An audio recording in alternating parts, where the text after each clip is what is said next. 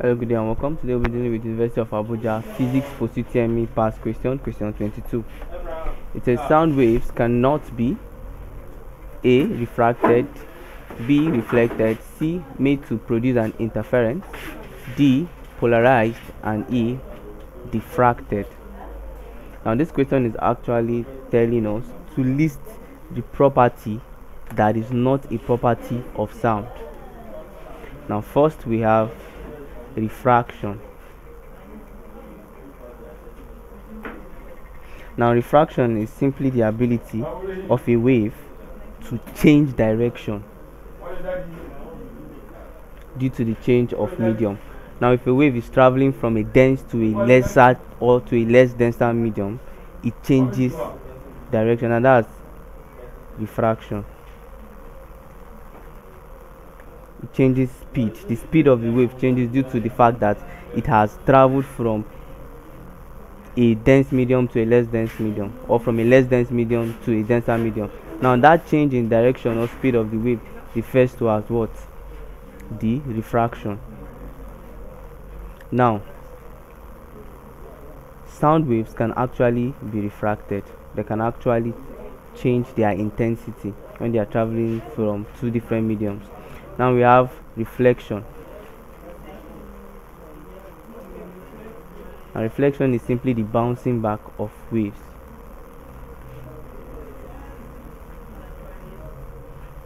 Now you notice that when you are in a, an, an enclosed room a very big hall that is empty and you shout you notice that what?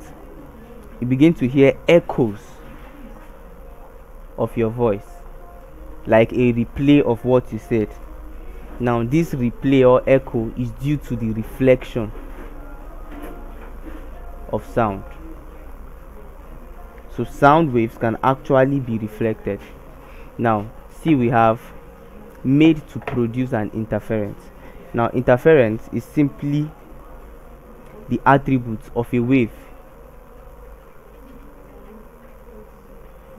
to combine or made to coincide. Now, the coincision of waves can actually be called interference. You notice that when two or more people are shouting, the resultant sound becomes higher. The intensity of the sound becomes higher than when it is just one person. So, interference is actually a property that can be exhibited by a sound wave. Now, D, option D, says polarized. Now, from the word polarization. Now, polarization is actually a property that is peculiar to transverse waves.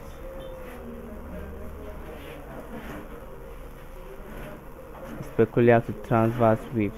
And now this is the ability of a wave to move in one plane. And when a plane is made to move in a single plane, it is said to be polarized.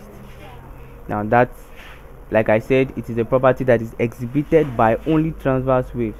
Now sound is not a transverse wave. It's a mechanical wave called longitudinal. It's a longitudinal wave.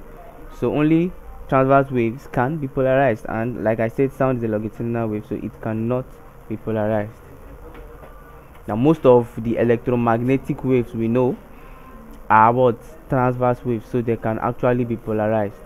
E diffracted. Diffracted. Now diffracted refers to the bending of waves around obstacles. Now the bending of waves around obstacles is what? Diffraction of that wave now you notice that what? All the movement of waves through an aperture or a small opening. Now you notice that what? You can be in a particular room and then you call somebody.